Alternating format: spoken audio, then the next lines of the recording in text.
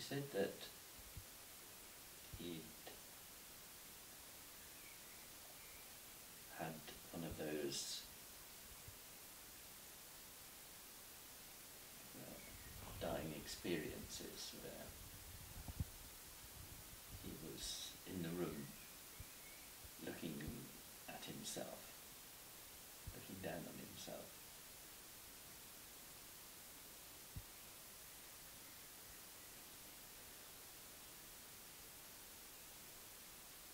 And uh, I told him that I loved him very much and that I was sorry that I'd spent so much time away from him.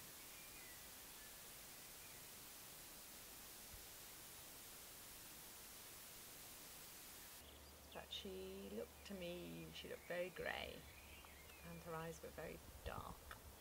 And I thought that she might die, but I had thought that she might die on several occasions in the last few months, so it's only with hindsight that I now know that she was actually going. Well, he decided to go to hospital, which was in a sense a decision to die. She had kissed me, and I think that was the first time she'd kissed me for a, quite a long time because I used to kiss her. Um, and she would kind of acknowledge the kiss, but this one was different, and she she gave me the kiss. As they took him out in a wheelchair, he made that gesture which I've never quite understood. His fingers out like that.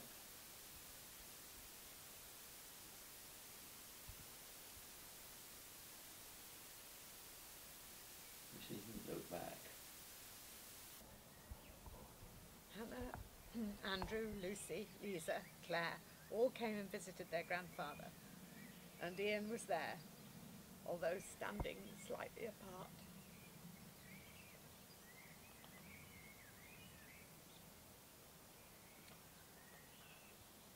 Was this all too reminiscent of his own father's death seven years earlier?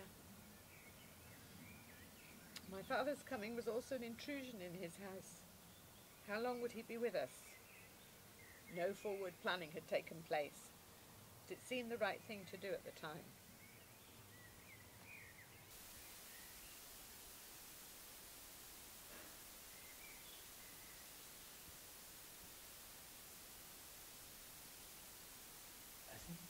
Was a gesture of unselfishness. He was a very, very unselfish person.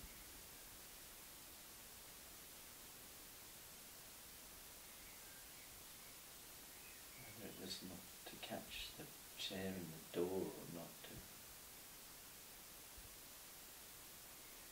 not put paint or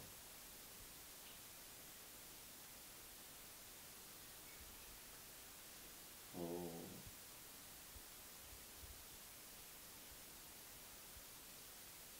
a sort of saying goodbye to the bungalow. Daddy had achieved all he wanted to do and had had his last wish to leave Netherbury and to be cared for at home. In quotes, and loved and loved and loved. This is what we did collectively. About ten days before he died, Daddy said, My hour has come. Then he began to retreat.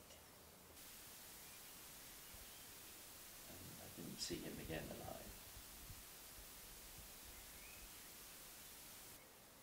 Finally, on my birthday, I came down to see Daddy at 6 a.m. I told him it was my birthday. He smiled and held my hand. I went for my early morning walk, and when I returned and went into him, I sang some hymns, holding his hand. And then finally, God be in my head and in my understanding. God be in mine eyes and in my looking. God be in my mouth and in my speaking. God be in my heart and in my thinking.